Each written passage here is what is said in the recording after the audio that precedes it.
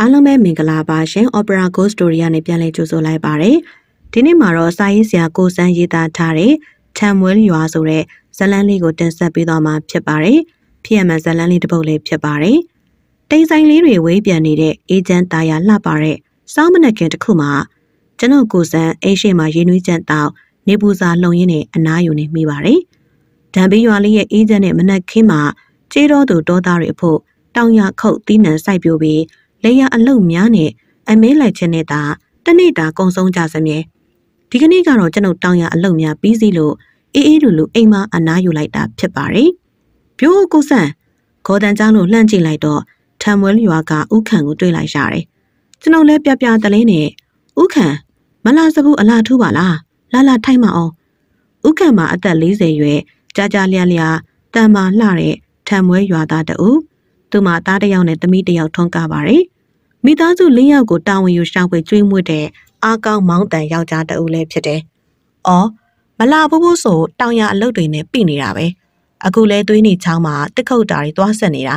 လမ်းလဲကြုံလို့အပြန်ဝင်လာတာလေ။ဟုတ်လားဘာအတွက်တစ်ခုတ်နေရလဲ။အော်ဒီတနွေတော့အိမ်ပြင်ဆောက်ဖို့လုပ်ရမှာပဲလေ။ပြင်မယ်ပြင်မယ်နဲ့အရင်နှစ်ကမလုံနိုင်ဘူးဆိုတော့ဒီနှစ်တော့လုပ်ရတော့မယ်လေ။အိမ်လဲအိုဟောင်းနေပြီကိုစန်းရဲ့။ကျွန်တော်တို့ဒေတာပတ်ဝန်းကျင်လူများဟာ အိမ်ဆောက်ဖို့တက်ကြီးတွေကိုသွေးနီချောင်းဘက်မှာသွားခုတ်ပြီးတက်တွေလူတလောက်ရလာတဲ့အခါရွာသူရွာသားများကိုအကူအညီတောင်းပြီးတော့တည်ဆောင်လေးရှိပါတယ်။အဲ့ဒါလို့တအိမ်နဲ့တအိမ်အကူအညီတောင်းတစ်သေးတာဟာရိုးရာရွာဒလေးတစ်ခုဖြစ်တယ်။ပြီးတော့အဲ့ဒီသွေးနီချောင်းမှာလည်းကလေးလူကြီးတွေငားများပစွန်၌ဖမ်းလေးရှိကြတယ်။ဒီသွေးနီချောင်းလေးကတန်ပြီးရွာရဲ့အတိတ်ကအသက်သွေးကြောချောင်းတစ်ခုဖြစ်တယ်လို့အနီးနားရွာတွေရဲ့အားထားရတဲ့လေသွေးချောင်းလေးလေးဖြစ်ပါတယ်။ထ မွဲရွာလေးဟာတောင်ပေါ်မှာတည်ထားတဲ့ရွာငယ်လေးတစ်ရွာသားဖြစ်ပါတယ်။အိမ်ကြီး30လောက်ရှိပြီးလမ်းမန်းဆက်သွယ်ရေးလည်းခက်ခဲလာပါတယ်။ထမွဲရွာလေးရဲ့အနီးဆုံးရွာမှာကျွန်တို့ဒံပီးရွာလေးဖြစ်ပါတယ်။သွေးနီချောင်းကိုသွားဖို့တောင်တန်းပေါ်ကနေဆင်းလာပြီးမှကျွန်တို့ရွာကိုဖြတ်ပြီးသွေးနီချောင်းကိုသွားရပါတယ်။တခြားဖြတ်လန်းလည်းမရှိပါဘူး။ဥခံလည်းရင်နွေးချမ်းတစ်ခွက်မော့တောက်ပြီးကျွန်တို့ကိုကြည့်ကကိုစံကျုပ်ပြောပြချင်တာရှိတယ်။ပြောလေဥခံ ဒီလိုအားကိုတကြီးနဲ့ပြောရအောင်ဘာထူးတာများရှိလို့လဲမဟုတ်ဘူးကိုဆန်ကျုပ်ပြောတာလူတွေမယုံပါစိုးလို့ဘသူမှအခုထက်ထိမပြောဘူးသေးဘူးဒါပေမဲ့ကျုပ်ပြောပြချင်တဲ့ယုံမယုံတော့ကိုဆန်းအပိုင်းပေါ့လေကျွန်တော်လည်းဘေးဒီဆန်လာတဲ့ဥခံကိုငေးကြည့်ရင်းနဲ့အော်ကျွန်တော်ယုံမယုံတော့ဥခံပြောတာအရင်နားထောင်ရတာပေါ့ပြောစရာရှိရတာပြောလေဥခံလည်းကျွန်တော်ကိုတစ်ချက်ကြည့်ပြီးစိတ်ဘောလေးဖွာရှိုင်ရင်သူကြုံတွေ့ခဲ့ရတဲ့ဖြစ်ပျက်တွေကိုပြောပြနေပါတော့တယ်ထံမွေးရွာ 1980ခုနှစ်ဝန်းကျင်ဥက္ကံမှာအသက်20ဝန်းကျင်လောက်မှာပဲအမဲပြစ်အလုတ်ကိုဘွာသနာကြီးစွာနဲ့တက်မြောက်ကျွမ်းကျင်သူတစ်ယောက်ဖြစ်ပါတယ်။ဖားကင်မှာတောင်းသူလေသမားဖြစ်နေပေမဲ့ဥက္ကံကတော့မိုးစိုးကောင်းတစ်ယောက်ဖြစ်ဖို့တိတ်တိတ်မဲမဲစူးစမ်းနေသူတစ်ယောက်ဥက္ကံမှာအချစ်ဆုံးအမဲလိုက်ပေါ်ဝါသနာတူတငယ်ချင်းအရင်တစ်ယောက်ရှိပြီးအဲ့ဒီတငယ်ချင်းနဲ့နေတိုင်းနေပါမပြတ်မကွက်အမဲလိုက်နေကြတာပဲဖြစ်ပါတယ်။ဒီနေ့တာယာချီလင်နဲ့ຫນွေဦးညနေခင်းတစ်ခုမှာ ဥက္ကန်နဲ့သူ့တငယ်ချင်းအမဲပြစ်ဖို့တိုင်ပင်ပြီးရွာထဲကနေထွက်ခွာလာကြပါတယ်။အမဲပြစ်ဖို့တင့်တော်တယ်လို့ထင်တဲ့နေရာရောက်လာပြီးနောက်သူတို့နှစ်ယောက်စုံမက်တစ်ခုကိုသတ်မှတ်ကြပါတယ်။အရင်ပြန်လာတဲ့သူကသူတို့သတ်မှတ်တဲ့စုံမက်မှာစောင့်ပြီးမှအတူတူပြန်ကြဖို့ဆုံးဖြတ်ကြတယ်။ညနေ9နာရီဝန်းကျင်ဥက္ကန်တို့ကအမဲပြစ်ဖို့ရေးတောင်ထဲမြောက်ခွဲပြီးတနက်ကိုစီနဲ့ထွက်လာကြပါတယ်။ထမင်းအိုးတစ်ကြက်လောက်အကြာမှာပဲဟိုခဝဝေးကနေတနက်တန်တစ်ချက်မြည်တာဥက္ကန်ကြားလိုက်တယ်။အော် ငါတငယ်ချင်းတော့စောစောစီစီအမဲပြစ်နေပါလားဒီလိုလက်ဖြောင်နေတော့ရှားကောင်းနိုင်ပါရဲ့ဥက္ကန်တွေးလိုက်မိတယ်ပြီးတော့တငယ်ချင်းအမဲရရင်သူ့ကိုရှာပြီးခေါ်နေကြဖြစ်လို့သူ့လာခေါ်မဲ့အထင်းနဲ့နေရာမှာပဲစောင့်နေလိုက်ပါတယ်နိုင်ဝက်လောက်ကြာမှတော့သူ့တငယ်ချင်းလာခေါ်တာလည်းမတွေ့ရလို့ဥက္ကန်တယောက်သူတို့တတ်မှတ်ထားတဲ့စုံမှတ်နေရာကိုပြန်လာပါတယ်ဒီမှာပဲငါစောင့်လိုက်တော့မယ်အမဲရရင်ငါ့ကိုလာခေါ်မှာပဲလေဥက္ကန်တွေးလိုက်မိတယ်ဆောင်ရင်ဆောင်ရင်နဲ့နေဝင်ဖြိုးပြချင်းရောက်လာပြီ ဥက္ကံလည်းအတွေးမျိုးစုံတွေးလာတယ်။อืมငါပေါ်တာတော့အမဲမရအောင်လားမသိဘူး။အခုတိလားမခေါ်သေးဘူးဆိုတော့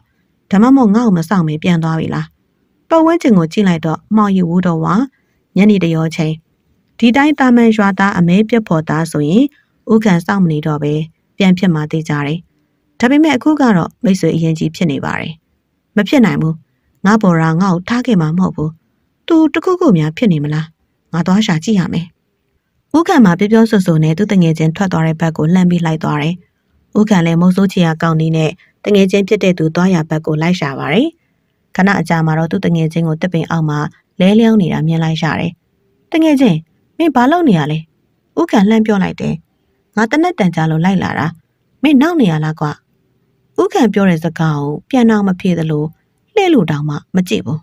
ဥက္ကံလည်းတင်းလာပြီးတော့ကိုကတ်ဘာဖြစ်နေရလဲငါမေးနေရလေ ဥက္ကံခက်ဆက်ဆက်ပြောနေပြီးမဲ့သူတငယ်ချင်းမှလဲလျောင်းနေမြဲပါပဲဘာများဖြစ်နေလို့လဲဒီကောင်ကဒီလိုမနှောက်ဘူးပါအောင်ငါသွားကြည့်မှတီတိုရွရွပြီးအနီးကပ်သွားကြည့်လိုက်တော့သူတငယ်ချင်းရဲ့ဥကောင်းမှာအပေါက်ကြီးဖြစ်ပြီးအုံနောက်တွေလည်းထွက်ကြကတီနီမန်းတီလိုက်ရတယ်ဘေးဘီဝဲရာတွေကိုလှည့်ကြည့်ပြီးအကဲခတ်လိုက်တော့သူ့တနက်ကိုတစ်ပင်အကိုင်းကျိုးတစ်ခုမှာ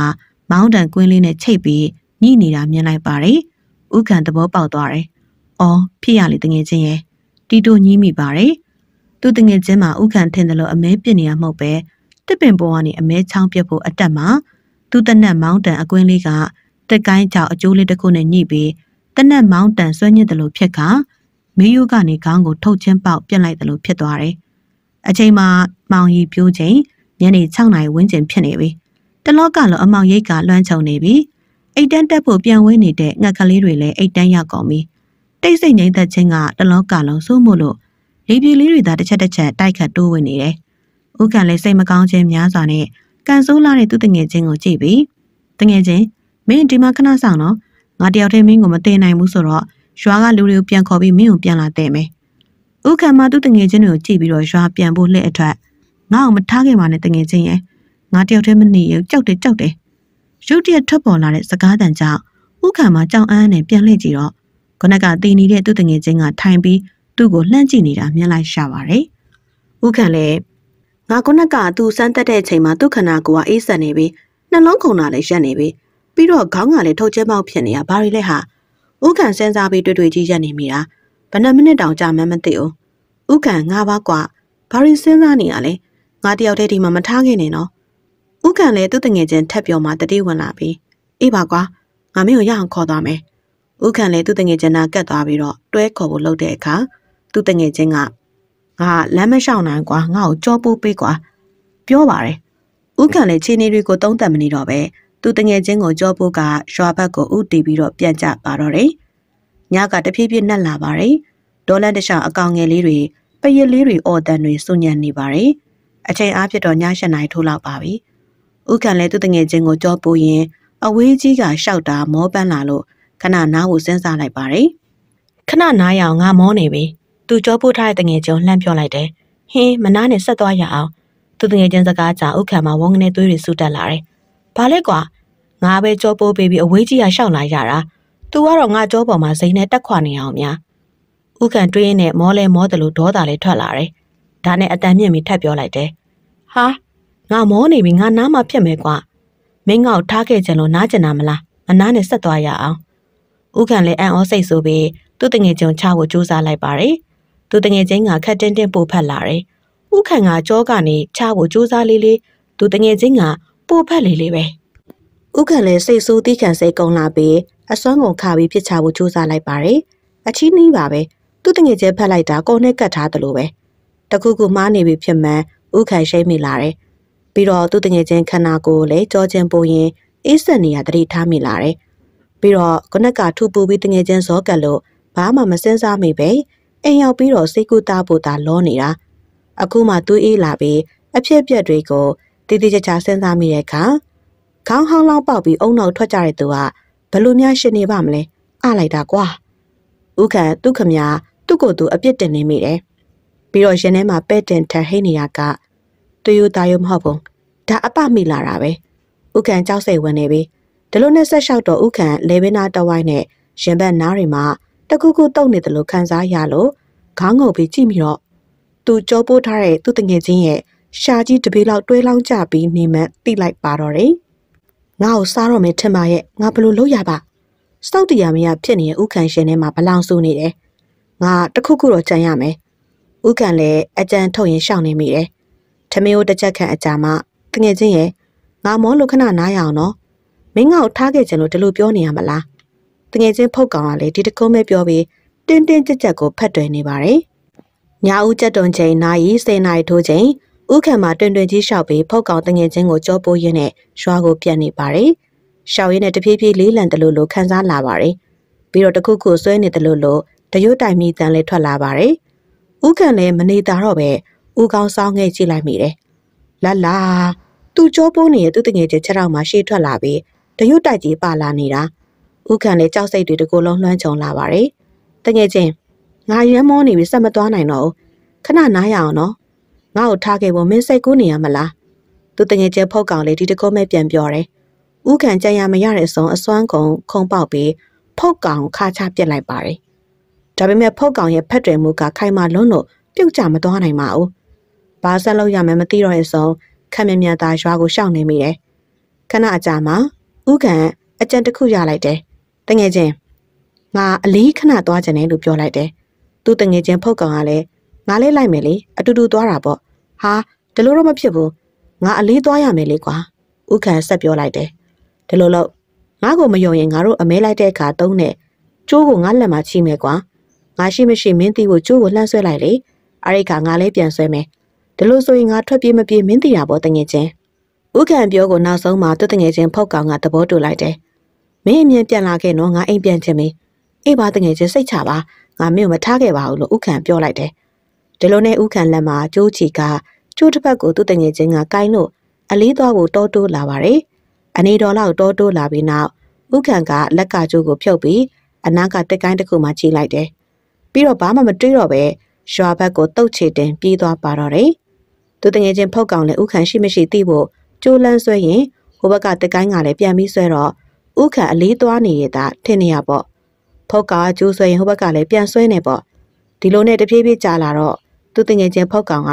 တနည်းဝင်ပြီးဥခံကိုအခေါ်ပါတော့တယ်။ဖုတ်ကောင်လည်းဥခံတမ်းမကြားရတဲ့အခါအနီးကိုသွားကြည့်တော့တက်ကိုင်းမှာကြိုးချီထားမှန်တွေ့လိုက်ရှာတယ်။ဖုတ်ကောင်လည်းဥခံနောက်ကိုတကုံပြေးလိုက်ပါတော့တယ်။ဥခံလည်းပြေးလွှားရင်အသက်ရှူရမတန်မောဟိုက်နေတယ်။နောက်ဆုံးကြံရမရဖြစ်တော့အနီးနားကထင်းရှူးပင်ပေါ်လှမ်းတက်ပြီးပုံနေလိုက်တယ်။ ဥခံပုံပြီးမကြခင်မှာပဲသူတငယ်ချင်းဖုတ်ကောင်ကလိုက်မိလာတယ်။ဖုတ်ကောင်လည်းဥခံကိုမမီတော့ဘူးထင်ပြီးထင်းရှူးပင်အောက်မှာထိုင်ချလိုက်တယ်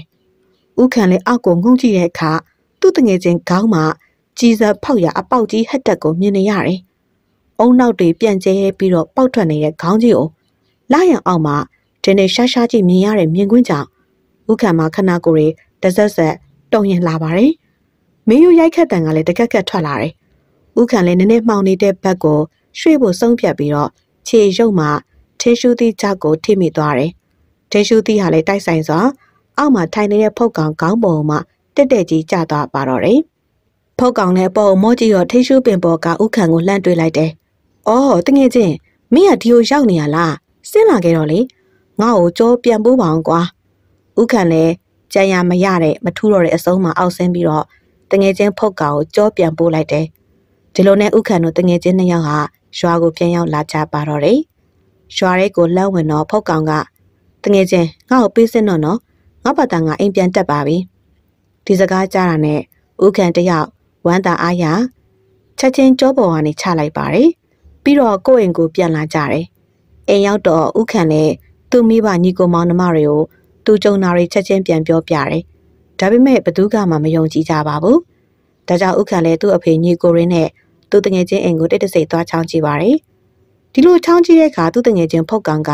မီးလုံရင်နဲ့ထမင်းတွေပလုတ်ပလောင်းတယောက်တည်းစားနေတာကိုတွေ့ရပါတယ်။တခြားအိမ်သူအိမ်သားတွေတယောက်မှမတွေ့ရလို့အိမ်ထဲမဝင်တော့ပဲပြန်လာကြပါတော့တယ်။နောက်တနေ့မိုးလင်းလို့သူတငယ်ချင်းအိမ်ကိုသွားကြည့်တော့ဖုတ်ကောင်ဟာဥခံတငယ်ချင်းပုကတ်ရှာကနေထွက်သွားပြီဖြစ်လို့သူတငယ်ချင်းအလောင်းသာကြံရစ်နေတာတွေ့ရပါတော့တယ်။ တိမ်လုံးလဲစိတ်မချမ်းမြေဖွယ်ရာငိုတန်တွင်းနဲ့တံပီးရွာလေးဟာသွမိုးအိမ်ရှိချန်ကလေးတစ်ခုမှာထိုင်နေတဲ့လူနှစ်ယောက်တယောက်ကအသက်40ဝန်းကျင်နဲ့နောက်တစ်ယောက်ကအသက်30ဝန်းကျင်လူရွယ်2ယောက်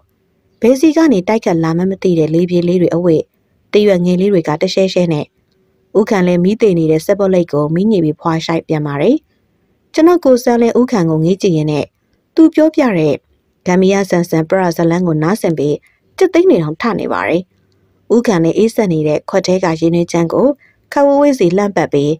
အဲ့တလို့နဲ့ဖုတ်ကောင်လည်းထွက်သွားတော့သူ့အလောင်းမဲ့ကျန်းရင်သွားတာပေါ့အဲ့ဒါဘလို့ဖြစ်နိုင်တာလဲဥခံရဘယ်ပြောတတ်မလဲကိုစန်းရငါကိုယ်တိုင်လည်းဘလို့မှနားမလည်နိုင်ဘူးသူ့အိမ်သူပြန်ချင်တာသူ့မိသားစုကိုနောက်ဆုံးကြည်ကြင်မြင်ချင်းနှုတ်ဆက်ချင်တာဒါကြောင့်ကျုံနောက်ကိုလိုက်လာနေရလဲဖြစ်ချင်းဖြစ်နိုင်တာပေါ့ကွာလူသေးဖို့ကောင်ကထမင်းလဲစားသေးရင်တော့ဥက္ခံဥက္ခံမှာဆက်ဆုလာတဲ့ကျွန်တော်ကိုစန်းကိုမျက်ကုံးပင်လှမ်းကြည့်ပြီး ပြောရမှာတော့ခက်တယ်ကိုစန်းရဲ့ကိုကက်ရွာကိုပြန်လိုက်လာတာอืมတကယ်ဆိုငါတို့ကညနေ၄နာရီလောက်မှအမဲပြတ်ထွက်တာဆိုတော့ထမင်းလည်းမစားပဲညစာပဲထုတ်သွားကြရလေဒီတော့ဖြစ်နိုင်စီကကိုကက်ကဘိုက်စာရင်တီးသွားတယ်ဆိုတော့သူကတီးတော့ဝိညာဉ်ကသူ့ကိုဝင်ပူးပြီးသူမသေးခင်လေးမှဖြစ်ချင်တဲ့အရာတွေကိုလှုပ်ဆောင်သွားရလဲဖြစ်နိုင်တာပေါ့ဥက္ကံမှာရင်းနှွေးချမ်းကိုငှဲ့ပြီးတော့တစ်ချက်မော့တောက်ရင်ဒီမှာကိုဆန်လူလောကမှာမမြင်အပ်တာတွေရှိနေသလို ကျုပ်တို့မသိနိုင်တဲ့ထူးဆန်းနှက်နေတဲ့အရာတွေလည်းရှိနေပါတယ်ဒီလိုအရာတွေဟာကြုံခွင့်ရှိမှကြုံဆုံနိုင်တဲ့ပရာလောကဖြစ်ရတွေပဲဟုတ်တယ်နော်ဥက္ကံအခုလိုဥက္ကံကိုယ်တိုင်ကိုရိဖြစ်ရကလေးတွေပြောပြပေးတာဘဟုတုတတိုးပွားလာသလိုလောကကြီးမှာစမ်းကြည့်တဲ့အရာတွေထက်ပိုစမ်းကြည့်တာတွေရှိမှပိုနားလေစေပါတယ်ဟုတ်တာပေါ့ကိုစန်းကိုစန်းစာရေးနေရကြုတ်လဲကြားပြီးတော့လမ်းကြုံဝင်နာရင်ကြုတ်ကြုံနာလေးတွေပြောပြတာပေါ့ကွာ ဟာကျေးဇူးတင်လိုက်တာဥခံရဲ့ကျွန်တော်ကိုစန်းဒီဖြစ်ရမှန်လေးကိုဆက်ဆက်ရေးသားမှာပါပြီးတဲ့အခါလဲဥခံကိုလူကြုံလှမ်းပို့ပေးမယ်နော်အေးအေးကျုပ်လည်းပြန်ချိန်အောင်ရောက်ပြီနေလဲစောင်းနေပါပြီလေပြောပြောဆူဆူနဲ့ဥခံတယောက်ထွက်ခွာသွားပါတော့တယ်လျှို့ဝှက်နည်းနည်းလုံးလာတဲ့လူလောကကြီးထဲမှာပရလောကတစ်ခုလည်းတရှိနေမယ်ဆိုတာမြေကြီးလက်ခတ်မလွဲပါပဲကျွန်ုပ်တို့မြင်ခွင့်ရှိမှမြင်ရမှာဖြစ်ပြီးမြင်တွေ့ခွင့်မရလဲဝိညာဉ်လောကမရှိဘူးလို့တတိကျယူဆမရပါဘူး ထံမွေးရွာစီကိုဥတီပြီးတဖြည်းဖြည်းနဲ့ဝေးကွာသွားတဲ့ဥခံကိုလှန့်ကြည့်ရင်းနဲ့ဥခံပြောပြတဲ့ကိုတွေ့ဖြစ်ရမှာသူဘလောက်တောင်ကြောက်ရွံ့နေမလဲဘလောက်တောင်ယူကျင်ရှာမလဲဘလောက်တောင်စိတ်ခွန်အားတွေပြန်မွေးမြူနေမလဲဆိုတာကျွန်တော်ကိုစံစင်ကျင်သုံးသပ်မိပါတယ်ဥခံထွက်သွားရဘက်ကိုလှမ်းကြည့်လို့အတွေးတွေများစွာနဲ့ငိုင်းနေမိပါတယ်မကြခင်မှာမိုးချုံပါတော့မယ်လေဝင်းကြီးလည်းအနောက်ဘက်တောင်ကြားရဲကိုထိုးဆင်းမှုတဆူနေပြီတတိဆိုတာကိုကြုံတွေ့တဲ့မျက်မှောက်အကြောင်းအရာကို တတိရှိရှိဖြေရှင်းနိုင်ခြင်းဖြစ်ပါတယ်ကြိုတင်ပြင်ဆင်မှုမရှိဘဲလက်တလုံးကြုံတွေ့တဲ့ပြဿနာတွေအခက်အခဲဒုက္ခတွေကိုလက်တွေ့ချက်ချင်းဖြေရှင်းနိုင်စွမ်းရှိဖို့ဥခံလို့ကျွန်ုပ်တို့ကြိုးစားဖို့လိုပါအောင်မယ်ဒီနေ့မှာတော့စာရေးဆရာတေးစားထွက်ကောင်ရေးသားထားတဲ့မုံစိုးထော်ပိုင်းနဲ့ရေနက်အိုင်းဆိုတဲ့ဇလန်းလေးကိုတင်ဆက်ပေးသွားမှာဖြစ်ပါတယ်ဇလန်းလေးမစတင်ခင်ကျမတို့ရဲ့ channel လေးကို like and subscribe လေးလုပ်ပေးဖို့တောင်းဆိုပါရစေရှင်ကျေးဇူးတင်ပါတယ်ရှင် စိတ်ညို့မှောင်နေတဲ့စီအုံးစိုက်ခင်းများကြားရှိရေသားလမ်းမကြီးမှာမွေးတကောင်လိုကောက်ွေက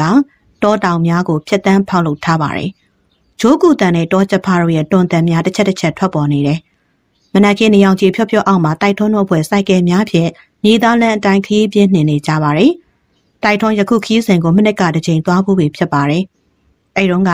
အချင်းဦးစီးဌာနမှာတငယ်ချင်းဖြစ်သူထောင်မှုကျော်စွာနဲ့အတူအမဲပြက်ခရီးဖြစ်ပါတယ်။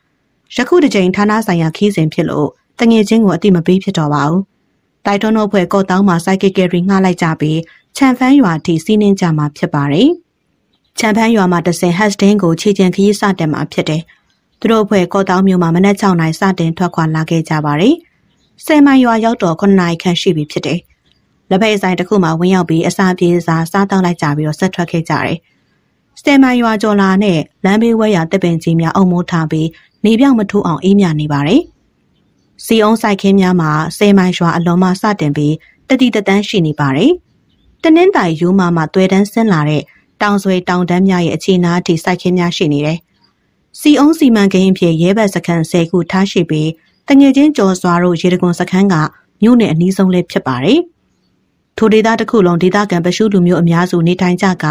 မော်လမြိုင်ဒဝဲအရက်မှရွှေ့ပြောင်းနေကြသူတွေကအနည်းစုသာရှိပါတယ်။တိုက်တွန်းကတတော်ဦးစီးမှုတယောက်ဖြစ်ကကော့တောင်းမြို့မှာတာဝန်ကျတယ်။တရက်မှာတော့ခရိုင်တတော်မင်းကြီးဦးဆောင်တဲ့တတော်ပွဲကတတော်ကျိုးဝိုင်းနယ်နမိတ်မြင်းကြောင်းများတတ်မှတ်ခြင်းကျိုးဝိုင်းအတွင်းပြင်ကျွန်းတဲ့ပြင်ကလေးစားတဲ့အဖိုးတန်ရတနာများရဲ့စည်ရင်အင်းနဲ့လက်ရှိမျက်မြင်ကိုယ်တွေကိုင်မကိုင်လိုက်လံစစ်ဆေးခြင်းလုပ်ငန်းများလှုပ်ဆောင်ရန်အကြောင်းကြားစာရောက်လာတယ်။ဒီလိုလက်လည်စစ်ဆေးရန်ခရိုင်တတော်ရုံးမှာတတော်မင်းကြီးဥပဒါနဲ့လက်ထောက်ခရိုင်မှုအပြင် အမှုတန်းတယောက်ပါလိုက်ပါကြမှာဖြစ်ပါတယ်။ဒီလိုကြီးနှံရောက်လာလို့ဌာနအတွင်းလိုအပ်တာတွေကိုပြင်ဆင်ထားရတယ်။မကြမီတတော်မင်းကြီးရောက်ရှိလာပြီးဌာနရင်းဆက်ဆေးစရာရှိတဲ့ကိစ္စများပြီးစီးပြီးနောက်ကွင်းစင်စစ်ဆေးရန်ဆက်လက်ညွှန်ကြားလာလို့တိုက်ထွန်းလက်သူလက်အောက်ရှိဒေတာတာဝန်ခံတောကောင်းကြီးတဦးနဲ့အမှုထမ်း9ယောက်ကိုပါလိုက်ပါရင်စီစဉ်ရတယ်။ထို့အတွက်စုစုပေါင်းအင်အားမှာ10ယောက်ဖြစ်ပါတယ်။တောင်ကုန်းတောင်တန်းများအတွင်လမ်းကိုဖြတ်တန်းဖောက်လုပ်ထားလို့ခရီးရသိမ့်မတွင်ပါဘူး။ချန်ဖန်းရွာရောက်တော့မနက်7:00နာရီခန့်ရှိပြီဖြစ်ပါတယ်။ ချန်ဖန်းရွာလေလမ်းရှိလက်ဖက်ရည်ဆိုင်မှာခဏတစ်ဖြုတ်ရပ်နားလိုက်ပြီးအတင်းချက်ပြုတ်ယူလာတဲ့ထမင်းဟင်းတွေကိုစားတောက်လိုက်ကြတယ်။တနားခန့်နားပြီးခရီးစားထွက်လိုက်ကြတယ်။ငှားရမ်းလာတဲ့စိုက်ကယ်များနဲ့ရှေ့ဆက်ရမယ်ခရီးစဉ်မှာကောင်းစွာသွားမရတော့လို့ခြေကျင်ခရီးဆက်ထွက်ခဲ့ရတယ်။နေကတဖြည်းဖြည်းမြင့်တက်လာပြီဖြစ်ပါတယ်။မြေသားနဲ့ကြောက်ရောရလမ်းဖြစ်တဲ့အပြင်တောင်ကုန်းအနှိမ့်မြင့်များကိုဖျက်ဆီးပြီးရှောက်ကြရလို့ထွေးပြိုက်ပြိုက်ကျနေပါတယ်။ခရိုင်မင်းကြီးဥပဒါမှာအသက်50ခန့်ရှိပေမဲ့ဝါဖိုက်သောခဏကိုကြောင့်မောပန်းပြီးတော့ မကြာခဏနားနေရတယ်။နေ့လယ်ပိုင်း2နာရီခန့်လဲမွန်ရွာကျော်လွန်လာကြပြီးပရှုလူမျိုးပိုင်းတီဟိုချန်နားရှိအရေးကောင်းတဲ့နေရာမှာခဏအနားယူလိုက်ကြတယ်။ခရိုင်မင်းကြီးမှာမြက်ခင်းပြန်မှာပိုးလိုပလက်လှဲချကသူ့ကိုယ်သူမဟန်နိုင်ဖြစ်နေတယ်။ဒါအပြင်စိတ်တူတန်နဲ့မြေတွန်တိုက်တဲ့ခရိုင်မင်းကြီးမှာမြက်ခင်းပြင်မှာပိုလိုပလက်လှဲချကသူ့ကိုယ်သူမဟန်နိုင်ဖြစ်နေပါတယ်။ဒါအပြင်စိတ်တူတန်နဲ့မြေတွန်တောက်တင်းနေတယ်။ပင်မလိုက်တာကွာဒီလိုမှန်းတည်မလိုက်လာအောင်မင်းတို့ပဲလှုပ်လိုက်တယ်။ တိုက်ထွန်းစီကရက်တောင်းနေရကခရိုင်မင်းကြီးဥပဒါစကားကြောင့်ပြုံးချင်းဖြစ်ပါတယ်။ဟက်ကောင်တိုက်ထွန်းမင်းပြောတဲ့ဟက်စတင်းရွာကိုဘလောက်လို့သေးလဲ။ဥပဒါကတိုက်ထွန်းကိုလှမ်းမေးနေတယ်။တိတ်မလို့တော့ပါဘူးဆရာနောက်ထပ်တနင်္လာတတလောက်ရှောင်ရင်တော့ရောက်ပါပြီ။ဒီတော့မှဥပဒါမျက်နှာရွှင်ပြသွားတယ်။ခဏကြာခီးဆက်လိုက်ကြတယ်။ကတ်တွတ်လျှောက်ကြပါ။ဟက်စတင်းရွာရောက်ဖို့က9မိနစ်လောက်ပဲလူတော့တယ်။တိုက်ထွန်းကအထမ်းသမားနှစ်ယောက်နဲ့အတူရှေ့ကဥဆောင်သွားနေရကနောက်ဘက်ကဥပတာတို့ကိုအားပေးစကားပြောလိုက်ပြီးတော့ မြန်မြန်လျှောက်ခိုင်းလိုက်ပါတယ်။ငါတို့ဘွဲ Hastings ရောက်ရင်တဲရမယ့်နေရာကအဆင်ပြေပါမလား။လူအင်အားကမနေဘူး။ဥပဒါကနောက်ကလှန့်အောင်မင်းနေလို့တိုက်ထွန်းလဲ rifle တနက်ကိုပကုံးပေါ်ပြောင်းထမ်းလိုက်ပြီးစိတ်မပူပါနဲ့ကျွန်တော်မိတ်ဆွေအိမ်ကနေရာကျဲပါတယ်။စားဖို့တောက်ဖို့ကလည်းရိတ်ခါအပြည့်စုံပါနေလို့ကိစ္စမရှိဘူး။တိုက်တွန်းကဥထော်ပိုင်အိမ်မှာခက်တာတဲကိုမာကိုမနေ့ကခီးမထွက်ခင်ကပြောပြခဲ့သေးတယ်။ဥပဒါကသူတို့အဖွဲ့သားများနေလို့အစိုးရင်ပို့ပြီးမိချင်းဖြစ်ပါတယ်။ တိတ်မကြခင်ဟက်စတင်းရွာဆက်ကိုရောက်လာကြတယ်။တီယိုပင်များကြားရှိလမ်းမြောင်အတိုင်းဝင်သွားလိုက်ကြပြီးဥထော်ပိုင်ရဲ့ချမ်းရှိကိုရောက်လာကြတယ်။တိုက်ထွန်းကချမ်းပြင်မနေပြီးအတွင်းကိုလှမ်းကြည့်လိုက်ရာအိမ်ရှိကွက်လက်မှာထင်းပေါက်နေတဲ့ဥထော်ပိုင်ကိုမြင်လိုက်ရတယ်။ဖြိုးဖာတီးကြီးကျွန်တော်တိုက်ထွန်းမှာဥထော်ပိုင်ကအတန်ကြားလို့လှည့်ကြည့်လိုက်ရာတိုက်ထွန်းတို့အဖွဲ့ကိုမြင်ရလို့အာရဝန္တာဖြစ်သွားပြီးတော့ခြံဝကိုထွက်လာတယ်။ဟောဆရာလေးတို့ပါလားဘလူကနေရောက်လာကြရလဲတိုက်ထွန်းနဲ့ရောက်လာရတဲ့ကိစ္စကိုအကျိုးကြောင့်ရှင်းပြလိုက်တယ် ကျုပ်ကဆရာလေးတို့ကိုတတိယနေတာမတွေ့ရကြပြီလာလာအထဲဝင်ကြဟုတ်တယ်ဖာတီရဲ့အခုကအလုပ်ကိစ္စနဲ့လာရတာဖာတီအောင်ရှိပါမလားဆိုပြီးတွေးပူနေတာကျုပ်ကတော့ပြစ်ထွက်လဲခဏတစ်ဖြုတ်ပါပဲအိမ်မှာရှိတာများတယ်အခုကငှက်ပြောဆိုင်တာလို့ခြံထဲမှာပဲလုံနေရဗျဥထော်ပိုင်ကတိုက်ထွန်းစီကကြောဘိုးအိတ်ကိုလှမ်းယူပြီးအားလုံးပြောလိုက်တယ်ကြွပါကြွပါဆရာကြီးတို့အိမ်မော်တက်ကြပါတိုက်ထွန်းတို့အားလုံးကိုအိမ်ပေါ်ခေါ်ဆောင်နေရရတယ်ဖာတီအောက်ထက်ကကလတ်ထိုင်မှာပဲထိုင်ကြမယ်မနေ့ပြန်ခီးဆက်မှာဆိုတော့ ပစ္စည်းတွေအလွယ်တကူဖြစ်အောင်အောက်မှာပဲထားလိုက်မယ်ဥထော်ပိုင်အိမ်ကနှစ်ထပ်ခြေတန်းမြင့်ဖြစ်ပြီးအောက်ကိုမြေကြီးလွတ်ထားတယ်အိမ်နောက်ဘက်မှာမိဖို့ကန်တစ်ခုကိုကျူတရံနဲ့ကာရန်ထားတယ်ခြံထဲမှာသီးပင်စားပင်များစိုက်ထားပြီးအရေးအာဝါဒကောင်းလာပါတယ်အင်းပေါ်လေညအိမ်မှာအပေါ်တက်အိတ်ကြတာပေါ့ထို့နောက်ဥထော်ပိုင်ဇနီးကရင်နွေးချမ်းနဲ့လက်ဖက်ပွဲများလာချပေးပါတယ်တိုက်ထုံးကအရာရှိဖြစ်သူနဲ့ဖွဲ့သားများမိတ်ဆက်ပေးလိုက်ပါတယ်ဖထီရဲ့ဒီဆရာကြီးကကျွန်တော်တို့တတော်ဌာနရဲ့မင်းကြီးပါဥပဒါလို့ခေါ်တယ် ဟိုဘက်ကတယောက်ကလက်ထောက်ခရိုင်မှုဦးချစ်ခင်ပါဟိုဘက်ကတယောက်ကတောကောင်းကြီးဦးလူလာပါကျန်တဲ့လူတွေကတော့အမှုထမ်းတွေနဲ့ထမ်းသမားတွေပါထို့နောက်ထွေရလေးပါပြောဆိုနေချိန်ဇနီးဖြစ်သူဒေါ်မြကြီးကညနေစာချက်ပြုတ်နေတယ်ဆရာလေးတို့လာမယ်မှန်းသိရင်တောပြက်ထွက်ထားပါတယ်အခုတော့ဘာမှမရှိဘူးရပါတယ်ဖတီအဆင်ပြေရပေါ့ခဏနေကြအောင်ပြောကခြံထဲကကြက်နှက်ကောင်ဖမ်းယူလိုက်ပြီးအိမ်တော်ဖေးဝင်သွားတယ်တိုက်ထုံးတို့စားတော့ရန်အတွက်စီစဉ်ချင်းဖြစ်ကြောင်းသဘောပေါက်လိုက်တယ် ခဏကြာမှဖာတီပြန်ထွက်လာပြီးငချောင်းဖို့စီစမ်းထားတဲ့ပကံစပွဲပေါ်တင်လိုက်ပြီးတိုက်ထုံးကိုပြောတယ်ဆရာလေးတို့နည်းနည်းပါးပါးတောက်ကြမှာမဟုတ်လားကျတို့စီမှာကချက်အရက်ပဲရှိတယ်ရတဲ့ဖာတီရန်ပါလာတယ်တိုက်ထုံးကရိတ်ခါထုတ်ထဲထည့်ယူလာတဲ့ရန်ဒပလင်းကိုထုတ်လိုက်ပြီးစပွဲပေါ်တင်ထားလိုက်တယ်နေဝင်သွားပြီဖြစ်လို့အမောင်ဘက်ရောက်လာပြီဖြစ်ပါတယ်သူတို့အုပ်စုလည်းထမင်းမစားခင်ရက်ဝိုင်းဖွဲ့ကတောက်စားနေလိုက်ကြတယ်အရက်လေးဝင်သွားလို့စကားဝိုင်းကအာသွက်ရှာသွက်ဖြစ်နေကြတယ်။ အရက်တပလင်းလဲကုံမီဖြက်ကထမင်းစားတောင်းလိုက်ကြတယ်။တတော်မင်းကြီးဥပတာမှာယာရုကုံကြောင့်စပြီးရောက်စားကမှန်တင်းပြီးဟန်ကိုဖို့ပုံစံဖြစ်ခက်တစ်တီလုံနေပေမဲ့လေဖာတီရဲ့ဖော်ရည်သောအပြုံးနဲ့အဲဝတ်ကြည့်ပုံမှုကြောင့်စကားဝိုင်းထဲကိုဝင်ပြောလာတယ်။တိုက်ထွန်းကမနှက်ပြန်ခီးစံအတွက်မြေပုံထုတ်ပြီးတော့ဖာတီကိုရှင်းပြနေတယ်။တိုက်ထွန်းတို့ဖွဲ့ရိုးမပေါ်တက်မဲ့ကိစ္စအတွက်ဖာတီကိုပါအဖို့ခေါ်သွားမှာဖြစ်ပါတယ်။ထို့အတွက်တိုက်ထုံးကဖထီလိုက်ပါကူညီပေးရန်နဲ့ တောတောင်နဲ့ရောက်ခိုင်းအမဲပြည့်ရန်မှာပြောဆိုလိုက်တယ်မင်းကြီးဥပဒါလည်းထိုအစီအစဉ်မှာသူပါအတွေ့အကြုံရရင်အမဲပြစ်မယ်လို့ပြောလာတယ်ဒီမှာမြေပုံကြည့်ပါအောင်ဖတ်တယ်ကျွန်တော်တို့မြေပုံညွန့်ရဲ့လက်တီတော့လောင်တီတော့တွေအရာတောင်ကုန်းမတ်တစ်တစ်နှစ်ခုကနေစပြီးတော့တစ်တစ်သုံးငါးထိသတ်မှတ်ထားတယ်ဒီမှာပြထားတဲ့ခမောက်တောင်ကနေဖြတ်စင်းရင်ရှို့ရှိမယ်အဲ့ဒါတွေကိုတော့ဖတ်တီသိမလားဗျအဲ့ဒါဖတ်တီအနေနဲ့တောထဲမှာ၄၅ရက်လောက်လိုက်ပြီးတော့ကိုကြီးပေးနိုင်မလားရပါတယ်ဆရာလေးလိုက်ပေးရမှာပေါ့ထိုစဉ်မင်းကြီးဥပဒါကဝင်ပြောလာတယ် ကျုံအနေနဲ့ဖတ်တီကိုတန်ရတန်ကြီးပေးမှာပါဥပဒါစကားကြောင့်ဥထော်ပိုင်မျက်နှာအနှင်းငယ်ပြတ်သွားတာကိုတိုက်ထုံးမြင်လိုက်ရတယ်ဥပဒါစကားပြောတဲ့ပုံစံမှာအထက်စီးဆန်နေလို့တိုက်ထုံးကအားနာနေရတယ်တိုက်ထုံးကကြားဝင်ပြီးတော့ဖြတ်ပြောလိုက်ရတယ်။အော်မင်းကြီးဆိုလိုချင်တာကဒီလိုဖထီရဲ့အခုခီးစဉ်ကရက်ကြတော့ဖထီလေမိသားစုစားဝင်နေရှိသေးရမဟုတ်လား။ဒါကြောင့်အဖိုးခါဖြစ်မင်းကြီးကပေးချင်လို့ပြောတာပါ။ဖထီကပြုံးရွှင်သောမျက်နှာနဲ့ပြန်ပြောတယ်။ ကျုပ်ကဘာမှမလိုပါဘူး။ဆရာလေးအတွက်ဆိုရင်အကူအညီပေးဖို့အသက်မှာပဲ။မြေပုံကြည့်ပြီးသွားတာမဟုတ်တော့မပြောတတ်ဘူး။ခမောက်တောင်ကသိရလေ။ဆရာလေးပြောပုံရခမောက်တောင်ကနေပြားလဖို့တောင်ထိဖြစ်နိုင်တယ်။ဟုတ်ကဲ့ဖထီကျေးဇူးတင်ပါတယ်အဲ့ဒါဗျာခမောက်တောင်ကိုဘယ်နှနိုင်လောက်သွားရမလဲနနနဲ့နေသွားရင်တော့နေကုံတော့ရှောက်ရမယ်တောင်လေးလုံးကျော်ရမယ်ညဘက်အဲ့ဒီအောက်ချင်နာမှာစခန်းချကြတာပေါ့စမ်းကြောင်းလေးရှိတော့အဆင်ပြေတယ်ဟုတ်ကဲ့ခီးစဉ်အနေထားကိုဖတီစီဇန်မှာ နားရမယ့်နေရာနဲ့အချိန်နဲ့တွက်ဆကြည့်ရအောင်ပါဟုတ်ပြီဆရာလေးပြားလပို့တောင်မှာရှိတဲ့ကြောက်ရည်နဲ့အိုင်ကမုတ်ဆိုးလောကနဲ့တတော်ထဲမှာနာမည်ကြီးပေါ့ဟုတ်လားဘလို့နာမည်ကြီးရလဲဗျတတော်မင်းကြီးဥပဒါကစိတ်ဝင်စားဟန်နဲ့မိလိုက်ပါတယ်ဥထော်ပိုင်ကစီးတန်တဲ့ဗာဂျီးနီးယားဆေးဖြည့်လိုက်ပြီးမိညင်နေတယ်။ထို့နောက်ပါဇက်ထဲမှာတက်ထိုင်နဲ့ဆက်ပြောတယ်။ကျုပ်တော့အဲ့ဒီထိမရောက်ဘူးဘူး။ရှေ့မင်းနောက်မင်းလူကြီးတွေပြောကြတာပေါ့ဆရာကြီးဟာ။ဆရာကြီးတို့ခေပညာတက်တွေအတွက်ရုံးမှုလက်ခံမယ်။ဘာပဲဖြစ်ဖြစ်ဘ ഹു တုတပေါ်နားထောင်ရတာပေါ့။ ထို့နောက်မှာဥထော်ပိုင်လည်းဆေးတံကိုတစ်ချက်နှစ်ချက်ဖွာထုတ်လိုက်ပြီးကြောက်ရင်နဲ့အိုင်အကြောင်းကိုပြောပြလီတော့တယ်။ဒီလိုပါဆရာကြီးပြားလဖို့တောင်ရဲ့တနေရာမှာမင်းနဲ့နေတဲ့ရှေးအိုင်ချက်တစ်ခုကိုမုံဆိုးဖွဲတစ်ဖွဲကတွေ့ခဲ့ကြတယ်။တိုက်တွန်းကကြားဖြတ်ပြီးဝင်ပြောလိုက်တယ်။ဖတီပြောလို့အခုမှသိရတာကျွန်တော်ကဒီရိုးမမှာတာဝန်ကြတာမကြသေးတော့နေရာနဲ့မရောက်ဘူးသေးဘူး။ဒီတော့တီတောင်မှာဒီလိုရေအိုင်မတွေ့ဘူးဘူး။တခြားစိတ်ဆန်းအိုင်လေးတွေအနားမှာတော့စက်ခန်းချဘူးတယ်ဗျ။ ဥထော်ပိုင်ကပစောင်ထဲမှာငုံထားတဲ့ကွန်းကိုတစ်ချက်နှစ်ချက်ဆောက်ဝါလိုက်ပြီးကွန်းသွေးပြစ်ကနေထွေးထုတ်လိုက်တယ်။ဆက်ပြောပါအောင်ဖတီ။ခုနကပြောနေတဲ့စကားတောင်ဘယ်ရောက်သွားပါလိမ့်။ထားပါတော့တရက်မှာဥတီပါတော့မိုးစိုးဖွဲ့ရိုးမပေါ်တက်ပြီးသားကောင်လိုက်ပြစ်ကြရောဆိုပါတော့အဖွဲသားတွေတောနှင်းရှာဖွေရင်းက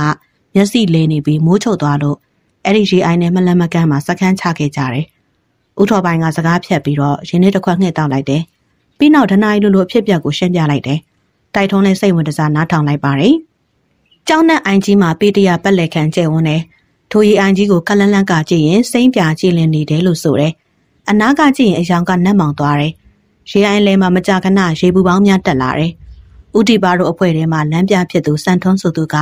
ထိုပူပေါင်းများမှာဝါကိုမှုတ်တယ်လို့ဆိုတယ်။ပေါင်းစာပြိုးချိန်မှာစပြီးတောကောင်တွေမလာစေရန်ထူနေရာမှာမိဘုံကြီးဖိုးထားလိုက်ပါတယ်။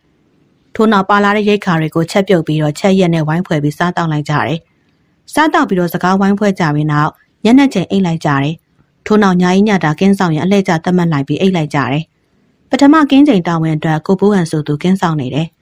။တကောင်ရန်လွန်လာချိန်ကင်းတာဝန်ပြည့်သွားလို့လူစားလေးရန်ကိုစံပါဆိုသူကိုနှုတ်လိုက်ပါတယ်။ကိုစံပါအိတ်ချင်မှုတူဖြစ်အလူးလဲထားထိုင်လိုက်တယ်။ကိုဘိုးဟန်အပေါ်သွားကြလာလို့ထိုင်နေရကထပြီးရေအိုင်နီးမှာအပေါ်ဆွန်လိုက်ပါတယ်။ဟဲ့လူအဲ့နာမစွန်နဲ့ အောင်ထားလို့မရတော့ဘူးပြုတ်။ထိုချိန်မှာရေအိုင်ထဲမှာအတန်ကြားလို့ကြည့်လိုက်ရ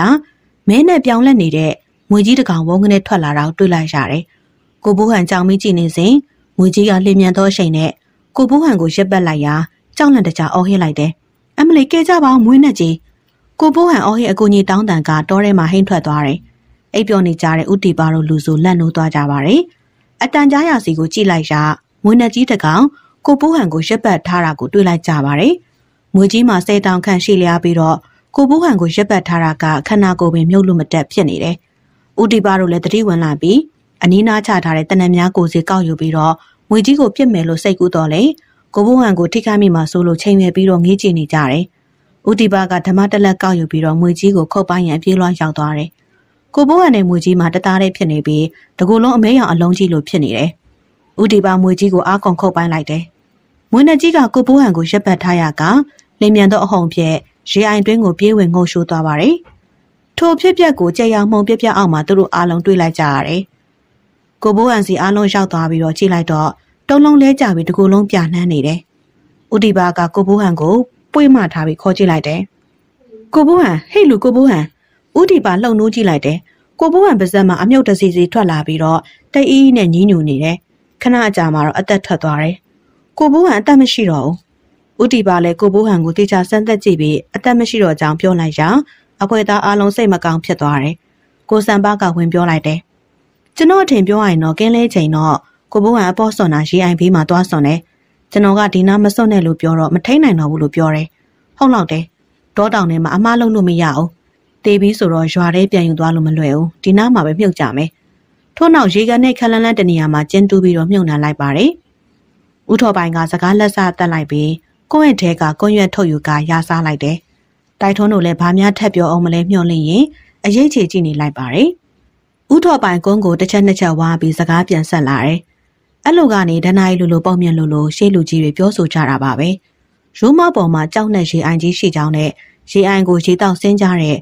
သမင်တရေကြီးငယ်ဆိုင်ဆက်စတဲ့အကောင်တွေကိုရေအောက်ကနေမွေးနှက်ကြီးဆွဲယူသွားတာတွေရှိတယ်လို့ပြောကြတယ်။ တယောက်ကြတော့မျက်စိလေလမ်းမပြီးရောက်သွားပြီးသူတော်စင်တပားနဲ့စုံတွေ့ရဘူးတာတွေလည်းရှိတယ်။ဟုတ်တယ်။အဲ့ဒါလိုဖြစ်ပျက်မျိုးတွေစာပေတွေမှာလည်းဖတ်ဘူးတယ်။ရောမှုတော့ခတ်တယ်ဗျ။နောက်ရှိသေးတယ်။နိုင်ငံခြားရုပ်ရှင်ဇာတ်ကားတွေတဲကငွေအကြီးကြီးတွေပါတဲ့ဇာတ်ကားမျိုး1980ခုနှစ်တုန်းကရန်ကုန်မှာကျွန်တော်တက္ကသိုလ်ကျောင်းတက်ချိန်မှာ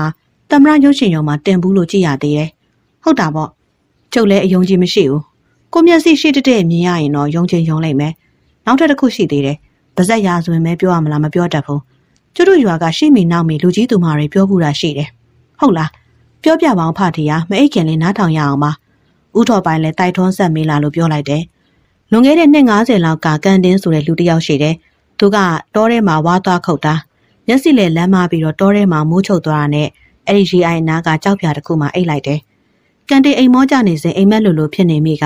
ရီအိုင်တွဲမှာမဲနဲ့နေတဲ့မွေကြီးတွေတကောင်ပြီးတကောင်ထွက်လာတာက အကောင်ရာချီရှိတယ်။မွေကြီးများရဲ့အရွယ်စားမှာထန်းလုံးခန့်ကြီးမှပြီးပေ30ခန့်ရှိပါတယ်။ကန်တင်းစိတ်ထဲမှာငကနက်ကြီးလိုထင်မြင်သွားကကြောက်လန့်နေမိတယ်။ထိုစဉ်မွေနက်ကြီးတကောင်ကကန်တင်းရှိရောက်လာပြီးလက်ထဲကဓာတ်နဲ့ငါတို့ကိုခုတ်လိုက်ပါလို့ပြောတယ်။ကန်တင်ရလဲမွေကြီးကိုမခုတ်ရဲဘဲနဲ့ကြောက်လန့်နေတယ်။ထိုစဉ်မွေနကားကြီးစီကနှာမုတ်တန်ထွက်လာပြီးပါဇက်မှာအငွေတထောင်ထောင်ထကမင်းညွန့်များပါဖျားထွက်သွားတယ်။ထို့နောက်ကန်တင်နာမှာရက်ခွေလေးကနက်ကလိုထပ်ပြောပြန်တယ်။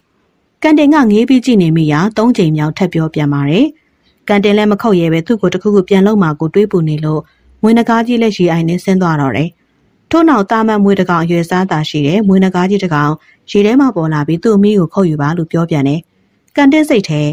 ငါ့ကိုဓာတ်နဲ့ခုတ်ခိုင်းတာအကြောင်းတစ်ခုခုတော့ရှိမယ်ထူတော့ထူဆန်းတယ်။ကန်တင်လည်းဖြစ်ချင်ဖြစ်သဘောထားပြီးကြောက်ကြောက်လန့်လန့်နဲ့နဂါအမိကိုဓာတ်နဲ့ခုတ်ကြည့်ရာ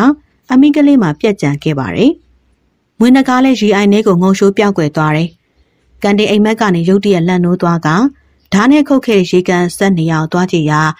လက်နှစ်စစ်ခန့်ရှိတဲ့ရွှေမကြီးတီတောင်တစ်ခုတွေ့လိုက်ရတယ်။ကန်တင်လည်းရွှေမကြီးတောင်လေးကိုယူပြီးရွာကိုပြန်လာခဲ့ပါတယ်။ထိုနေ့မှစပြီးကန်တင်လည်းရွှေမကြီးတောင်တစ်ခုအရင်ပြုတ်ပြီးလုပ်ငန်းများဆက်လက်လုပ်ကိုင်ရာကနေချမ်းသာသွားတယ်။ဥထော်ပိုင်စကားဆုံးသက်သွားပြီးဖြစ်ပါတယ်။တတော်မင်းကြီးဥပဒါကခေါင်းတဆက်ဆက်ငိမ့်လိုက်ပြီးပြောလာတယ်။ ပြောရရင်တော့ကျွန်တော်ကယုံကြည်မရှိပါဘူး။ဒါမျိုးကတိုက်ထွန်းပြောသလိုမွေအကြီးစားတွေပါ။လူတွေကတော့ငကားလူပြောကြတာပေါ့။ကဘာပေါ်မှာအကြီးဆုံးမွေကပေ30နဲ့35ပေရှိတဲ့ဂျီကန်တိုဖစ်လို့ခေါ်တဲ့မွေကြီးရှိတယ်။ရှေးကာကအကြီးဆုံးမွေဖြစ်တည်ရှိခဲ့တာက42ပေလောက်ထိရှိနိုင်ပြီးပေါင်2500လောက်ရှိတဲ့တိုက်တန်နိုဘွားမွေကြီးဖြစ်တယ်။တမိုင်းလေးလာမှုတွေအရတော့တိုက်တန်နိုဘွားတွေကဒိုင်နိုဆောတွေမျိုးသုံးပြီးတဲ့အထိအသက်ရှင်ခဲ့က ကဘာပေါ်မှာအကြီးဆုံးတွားတွားတတဝါဖြစ်ဆက်လက်တည်ရှိခဲ့တယ်။ဒါပေမဲ့ဒီမွေဟာကုန်းပေါ်မှာကောင်းကောင်းမလှုပ်ရှားနိုင်တာကြောင့်သူနာကဖြတ်သွားတဲ့တတဝါကိုမစားနိုင်ပဲရေထဲကတတဝါတွေကိုပဲစားတဲ့မွေဖြစ်သတ်မှတ်ခံထားတယ်။ဒီမွေကြီးတွေကမိချောင်းတကောင်အောင်အေးဆေးမြူချနိုင်တယ်။လွန်ခဲ့တဲ့နှစ်ပေါင်း58တန်းတုန်းကဆိုရင်တောအုပ်တွေထဲမှာတွေ့ရမှာဖြစ်ပြီးအခုချိန်မှာတော့မျိုးသုံးသွားပြီလို့ယူဆထားကြတယ်။ Green Anaconda မွေကြီးတွေကတော့ပေ20လောက်ထိရှိပြီး ပေါင်300ကနေ900လောက်ကြီးမာတယ်။ဒီကောင်တွေကရေထဲမှာအနေများတယ်။တားပေါင်ရင်အကောင်40ကနေ100ထိပေါက်ကြတယ်။ဥပဒါစကားစားပြတ်သွားချိန်မှာတိုက်ထုံးကဆက်ပြောတယ်။ဟုတ်တယ်ဆရာ။အဲ့ဒါလိုမွေအကြီးစားတွေကိုတချို့မသိနားမလဲသူတွေကငကားလို့ထင်ပြီးပြောကြဆိုကြရာကလူတွေကြားထဲမှာတွင်ကျဲသွားတဲ့သဘောနေမယ်။ကဲဆရာကြီးတို့အနားယူကြတော့မနက်လဲခီးထွက်မှာဆိုတော့ပင်မန်းကြမယ်အပေါ်ထက်မှာအိယာပြန်ပေးထားတယ်ထိုထို့နောက်သူတို့အုပ်စုအိယာဝင်လိုက်ကြပါတယ်။ မနက်၄နာရီခန့်အိယာမှာထားလိုက်ပြီးခရီးထွက်ရန်ပြင်ဆင်လိုက်ကြတယ်။ဖားတရဲ့ဇနီးကကောင်းချင်းပေါင်းနဲ့ငချောက်ဖုတ်ကျွေးမွေးလို့အစာပြေစားတောင်းလိုက်ကြတယ်။ညာကလေးကကြိုပြီးစီစဉ်ထုတ်ပိုးထားတဲ့ရိတ်ခါထုံးနဲ့အိယာလိမ်များကိုထန်းသမားနှစ်ယောက်ပြင်တိုက်ထွန်းတို့ဌာနရှိအမှုထမ်းနှစ်ယောက်ပါဆိုင်းထန်းတပူးနဲ့ထမ်းကြတယ်။အဝတ်စားပုံနဲ့တကွေအုံးပစ္စည်းများကိုကြောပိုးအိတ်ထဲထည့်ပြီးကိုဘတာတည်ယူကြတယ်။ဥပတာကဘောင်းပီမှာ equipment ပတ်ပြီးခြောင်လုံးပြူတနက်ထည့်ထားတယ်။ လက်ထောက်ခရိုင်မှုကခြောင်လုံးပြူထည့်တဲ့အိတ်ကိုခန္ဓာကိုယ်မှာတိုင်းကျိုးနဲ့ပတ်ထားတယ်။တိုက်ထွန်းနဲ့အမှုထမ်း၃ယောက်တို့က rifle ကိုစီးနဲ့ဖြစ်ကပခုံးမှာလွယ်ပိုးထားလိုက်ကြပါတယ်။တော်ရင်ခီးဖြစ်လို့တောစည်းလေရှိဖက်နှက်များဝတ်ဆင်ထားကြတယ်။တောထဲမှာဖြစ်လို့ခုတ်ထွင်ရှင်းလင်းရန်ကပါတာငါးလက်ထည့်ယူလာတယ်။သူတို့ဖွဲ့မနက်9နာရီတတာဟတ်စတင်းရွာမှာစထွက်လိုက်ကြပါတယ်။အမောင်တို့ကြီးစိုးဆဲဖြစ်လို့ဓမီကိုစီထုံပြီးရှောက်ကြရပါတယ်။ရက်ရှည်ခရီးဖြစ်လို့၄တောင်တို့ဓမီနဲ့ ၃တောင်ထိုးများ၄၅လက်အပိုးဆောင်ထားတဲ့ပြင်တခဲကြီးဆယ်တာစင်ခန့်ပါထည့်ယူလာပါတယ်။စီယုံတော်မှဖြတ်ထွက်ပြီးရိုးမပေါ်ဦးတီလျှောက်လိုက်ကြတယ်။တနိုင်ခန့်လျှောက်ပြီးတောင်ချီကိုလျှောက်လာကြတယ်။ညီထွက်ကစားရှိသေးတဲ့အပြင်တောရိပ်တောင်ရိပ်ကြောင့်အလင်းရောင်ကောင်းစွာမရသေးပါဘူး။တတော်လုံးတထောင်လုံးနှင်းမုံများမှုံမိုင်းနေပါတယ်။တတော်တဲ့အလင်းရောင်ကမိန်ဖက်ဖျားလေးရှိနေတယ်။တပင်ထိပ်ပြားများစီကငှက်တချို့ရဲ့တကြီးကြီးအော်မြည်တန်ခက်သက်သက်တိုးထွက်လျက်ရှိနေပါတယ်။လေးပြင်းပြင်းဝိလိုက်တိုင်းသူတို့အုပ်စုချမ်းစိတ်သွားရတယ်။ မနက်စိန်နိုင်ခန့်ခမောက်တောင်ရှိတမတ်မြေပုံညိုနေနမိတ်ထဲရောက်ရှိလာကြတယ်။တိုက်ထုံးနဲ့တောကောင်းကြီးတို့နှစ်ယောက်မြေပုံတကိုင်ကိုင်နဲ့အနီးနားဘက်ချာလေးကိုလေ့လာကြည့်ရှုလိုက်ပါတယ်။ဖာတီကစကန်းချလို့ကောင်းမယ့်နေရာကိုလိုက်ရှာကြည့်နေကြတယ်။ခဏကြာကြောက်တောင်တစ်ခုအနီးခြေကင်းလက်ခင်ကောင်းမွန်တယ်လို့ဖာတီပြောလို့ထိုနေရာမှာစကန်းချလိုက်ကြပါတယ်။တောကောင်းကြီးဦးစီးပြီးအထမ်းသမားနှစ်ယောက်နဲ့တခြားမှုတန်းတချို့ကပါလာတဲ့တာပေါ်လင်စများဖြင့်ယာရွက်ဖြင့်တဲနှလုံးထိုးလိုက်ကြပါတယ်။ ထိုရွက်ဖြင့်တဲမှာတတော်မင်းကြီးနဲ့လက်ထောက်ဖြစ်သူတို့နှစ်ယောက်အဓိကဖြစ်ပြီးတော့ကြံဖွဲ့သားများကမြေပြောင်မှာအခင်းခင်းပြီးအိတ်ဆက်ကြမှာဖြစ်ပါတယ်။ကြံတဲမှာပစ္စည်းများကိုလည်းထားရှိမှာဖြစ်ပါတယ်။အဲဒီနောက်ထမ်းသမားနှစ်ယောက်ကိုဓမင်းရင်ချက်ပြုတ်စီပြီးကြံဖွဲ့ဝင်များကတောအုပ်တွင်ရှိတဲ့အုပ်စုများကိုခွဲပြီးတော့စစ်ဆေးကြတယ်။မနက်ပိုင်းထမင်းစားချိန်ရောက်အဆူအဖွဲ့လိုက်စုရက်ပြန်ရောက်လာကြတယ်။စားတော့ပြီးခဏတစ်ပြုတ်အနားယူကြကမွန်လဲပိုင်းတစ်ချိန်တောတွင်လှည့်လည်စစ်ဆေးပြီးတော့ နေဆောင်ချိန်ပြန်လည်အနားယူကြပါတော့တယ်။ထိုနေ့ဖို့ခမောက်တောင်ပတ်ချလေးရှိတမတ်ဧရိယာတွင်စစ်ဆေးပြီးစီးသွားပြီဖြစ်ပါတယ်။တတော်မင်းကြီးဥပတာမှာမနက်ပိုင်းတစ်ချိန်သာလိုက်လံကြည့်ရှုပြီးထမင်းစားပြီးရနဲ့စခန်းမှာတနေ့ကုန်အိပ်ပြီးကြံခဲ့ပါတော့တယ်။နောက်တနေ့မနက်ခမောက်တောင်မှထွက်ခွာခဲ့ကြပြီးရှေ့ကိုခရီးဆက်ကြတယ်။တွိုင်းလိုက်နဲ့တနင်္ဂနွေခန့်ရောက်တော့တစ်ချိန်စုရက်တစ်ခုသတ်မှတ်ပြီးအဖွဲ့ခွဲကတတော်တွင်လှည့်ပတ်ဆက်ဆေးလိုက်ကြတယ်။ထိုညအတွက်အဆင်ပြေရနေရမှာညအိပ်ရနာလိုက်ကြပါတော့တယ်။ ဒီလိုနဲ့၃ရက်ခန့်လှည့်လည်ဆက်ဆေးပြီးနောက်ဆုံးစစ်ဆေးရင်ပြားလက်ဖို့တောင်းတာကြံတော့တယ်။မနက်မိုးလင်းချိန်9နာရီခန့်ဆက်လက်ထွက်ခွာခဲ့ကြပါတယ်။ပြားလက်ဖို့တောင်းမှာစခန်းချရနာကြမှာဖြစ်တယ်။ထိုနေရာမှာတဆင်စခန်းချပြီးတတော်တွင်လှည့်ပတ်ဆက်ဆေးကြမှာဖြစ်ပါတယ်။တောင်ကုန်းရှုံမြောင်များအစင်စင်ကြောဖြတ်ပြီး၃နိုင်ခန့်ကြာပြားလက်ဖို့တောင်ကိုရောက်ရှိလာကြတယ်။ပြားလက်ဖို့တောင်မှာနှစ်ချို့ပြားအောင်ကြီးများကိုအပင်မြင့်ကြီးများရဲ့ထိပ်ပြားနားရှိကိုင်းကံမှာအများပြားတွေ့ရတယ်။ကျော်နုဆိုသူက အပင်မော်တက်ပြီးပြားဖို့လို့ကပြားရည်မနေမနှောရှာမှာဒါမှပြားရည်အဆက်ပဲ။ကျော်နုပြောစကားကြောင့်မြင်ထုံးကဝင်ပြောတယ်။မင်းကတက်ပြီးတော့ယူရဲလို့လား။တက်ပင်မော်တက်ရဲလို့လား။ပြားဖို့တာလွယ်တယ်မှတ်နေလား။အခက်မသိရင်ပြားတုပ်ပြီးတော့သေးတတ်တယ်။တယောက်တစ်ပေါက်ပြောဆိုနေကြတော့တယ်။ရှေ့ဆုံးကနေသွားနေတဲ့ဥထော်ပိုင်းကလက်ကပြပြီးချက်ပြလိုက်ကဒီနေရာမှာနားချောင်းအောင်စရာလေးဘာမှမမြင်ရတော့ဘူးပြားလက်ဖို့တောင်ဆိုတာကဒီနေရာမှာပြားအောင်တွေပေါ်တယ်။ ပြားဖို့သမားတွေဒီနေရာလာပြီးဖွတ်ကြတာပါ။ဒါကြောင့်ပြားလက်ဖို့တောင်ဆိုပြီးဖြစ်လာတာပဲ။ဟုတ်ကဲ့ဖတီဒီနေရာမစိုးပါဘူး။ရက်ခင်းလေးလည်းရှိတယ်။ဟိုနားမှာကြောက်အိုင်တစ်ခုလည်းရှိတယ်။တိုက်တွန်းကပကုံးပေါ်ထမ်းထားတဲ့တနက်ကိုလက်မှာပြောင်းကင်လိုက်တယ်။ခလန်းလန်းမှာကြံနေခဲ့တဲ့ဥပဒါတော်ကိုရက်ဆောင်ကြည့်နေလိုက်ပါတယ်။အထက်သမားများလည်းပစ္စည်းထုံများမြေပြင်ချလိုက်ပြီးထိုင်နေကြတယ်။ခဏကြာတောကောင်းကြီးနဲ့တခြားအစင်အမှုထမ်းများရှေ့ကရင်ရောက်လာပြီး။ဥပတာနဲ့ဦးချစ်ခင်တို့ကနောက်ကရောက်လာကြတယ်။ ဖထေကမိဖို့ထားလိုက်ကောင်းမယ်ထင်းကြောင်လိုက်ရှာပြီးကြပါ။ထင်းတော့ခက်ကြီးကြီးရရင်ပိုကောင်းတယ်လို့ပြောဆိုနေလို့အထမ်းသမားနှစ်ယောက်နဲ့အတူတတော်မှုထမ်းများဖြစ်တဲ့နိုင်လူကြော်ခါတို့ထင်းရှာထွက်လိုက်ကြတယ်။စကန်းကြမဲ့နီးပါရှိထင်းကြောင်များလိုက်လံစုဆောင်ပြီးမြေကွက်လက်ပေါ်မှာမိဖို့တပူဖန်တီးလိုက်ကြပါတော့တယ်။ဖာတီကမိဆွဲတက်လာတဲ့မိဖို့အတွင်းကို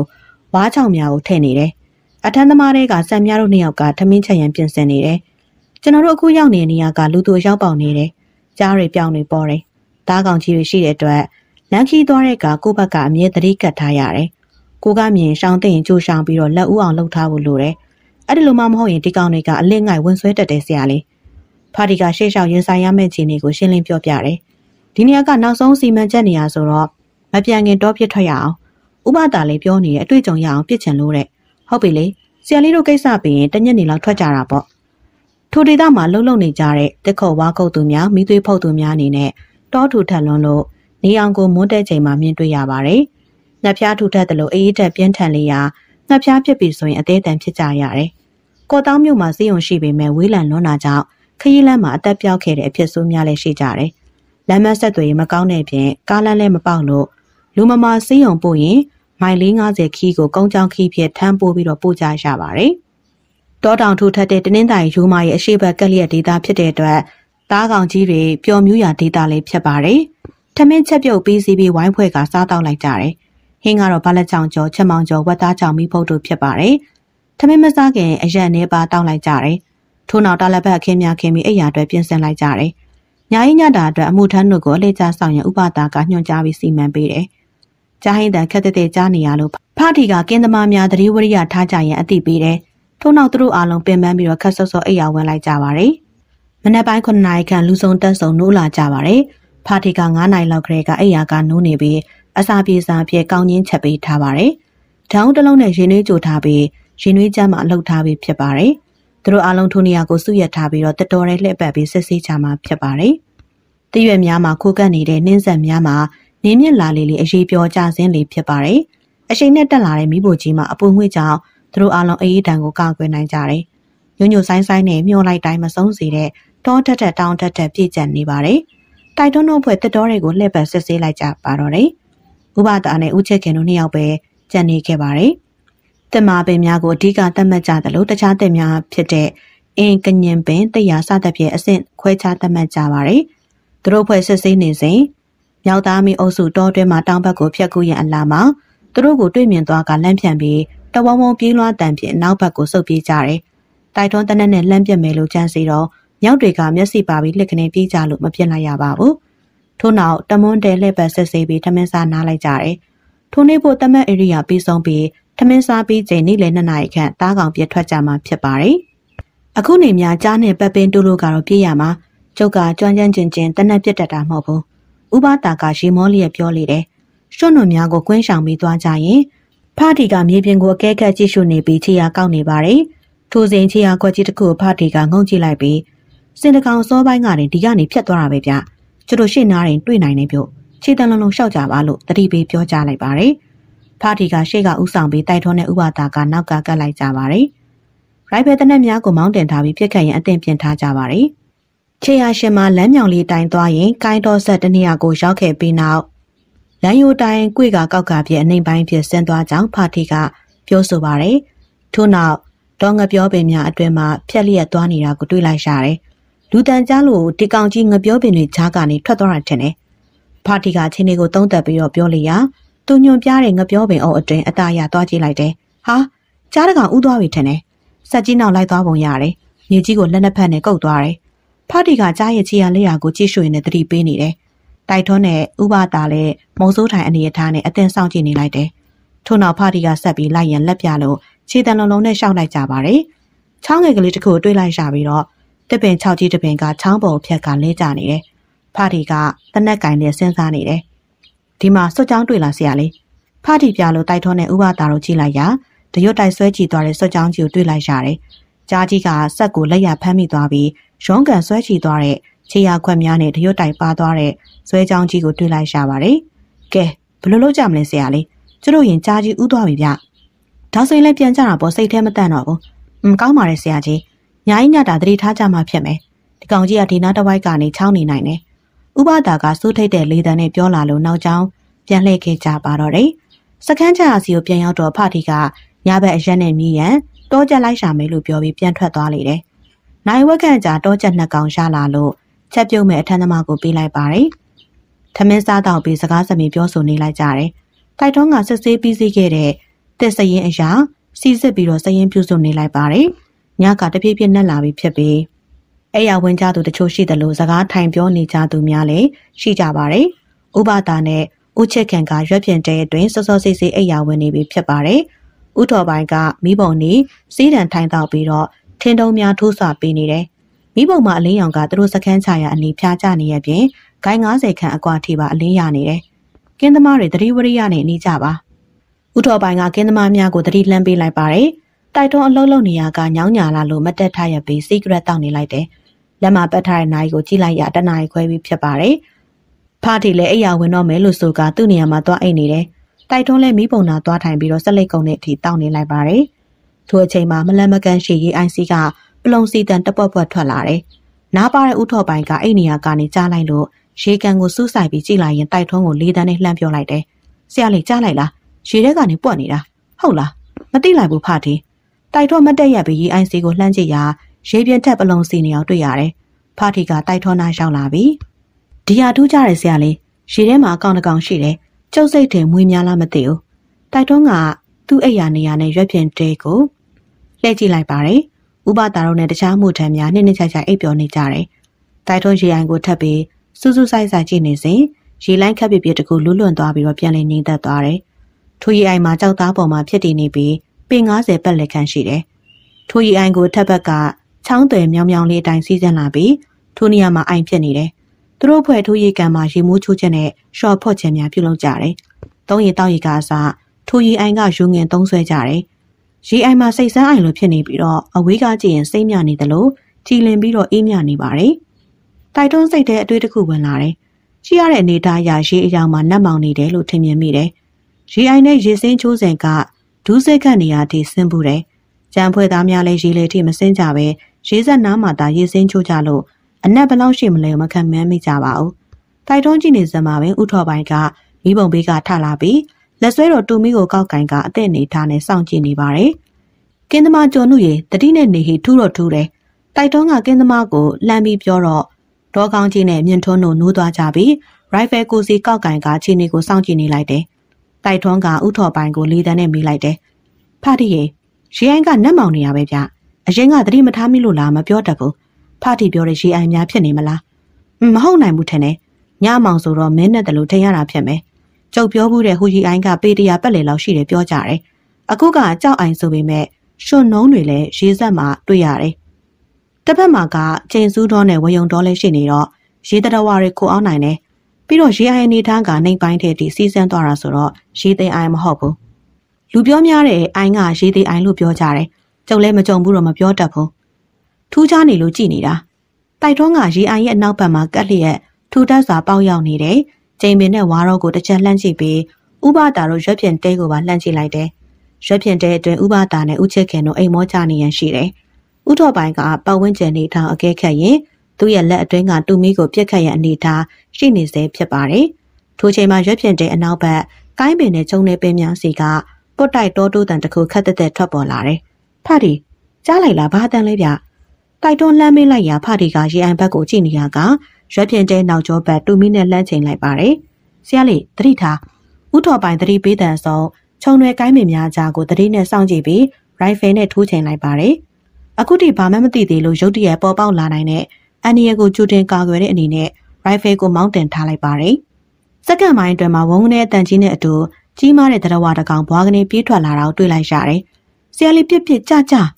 ဥထော်ပိုင်းလှမ်းပြောလို့တောကောင်ကြီးကိုတနက်ဖြစ်ကိုစီလှမ်းပစ်လိုက်ကြတယ်။ မိဘုံရှိအလင်းရောင်အောက်မှာကြားကြီးရဲ့ခန္ဓာကိုယ်ရှိအဝါနဲ့အနက်စင်းကြားကြီးမှာထင်းကနေဖြစ်နေတယ်။သူတို့ပြစ်လိုက်ချိန်တပြိုင်တည်းဆိုသလိုရွက်ဖြင့်တဲအတွင်းအိတ်နေတဲ့ဥပတာဝင်ဆွဲချိန်နဲ့တက်ထက်သေးကြနေတယ်။ဥတော်ပိုင်နောက်တစ်ချက်ပြစ်လိုက်ချိန်ကြားနဲ့ဥပတာမှာလုံးထွေးနေပေမဲ့ထိမှန်သွားပုံရတယ်။ကြားကြီးချာနဲ့တစ်ချက်လဲပြိုသွားပြီးရှေ့ကိုဆက်ပြေးနေရမှရီအိုင်ထဲကိုဖြတ်ပြေးပါတယ်။ထိုအခိုက်တန်ရီအိုင်ထဲမှာဝငနေအတန်နဲ့အတူနှာခေါင်းကြီးမှုတ်တန်ကြီးတစ်ချက်ထွက်ပေါ်လာပြီးလူတစ်ရက်ခန့်မြင့်မားတဲ့ ငွေကြီးတစ်ကောင်ထောင်ထောင်မမတ်ကြီးထွက်လာတယ်။တိုက်တွန်းကြည့်လိုက်ရငွေကြီးမှာလူပောင်လုံးမကရှိနေပြီးတော့စိမ့်ပုတ်ရောင်ပြောင်ချောချောဖြစ်နေတယ်။တိုက်ထွန်းတို့လည်းကြောင်ပြီးကြည့်နေကြပါတယ်။ဥပတာကသွေးတန်ရဲရဲဖြစ်သူတို့ရှိရာဘက်ကိုပြေးလာနေတယ်။ဥပတာလက်မောင်းဆုပ်ပြက်သွားက